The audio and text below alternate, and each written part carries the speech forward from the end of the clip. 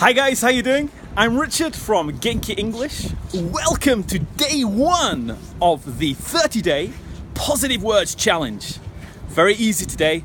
So today's phrase is just try. Just try.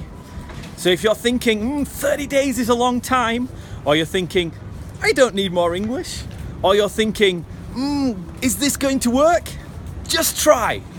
Just try whatever you want to do. You want to write a song, do some music, write, start a business, learn more English?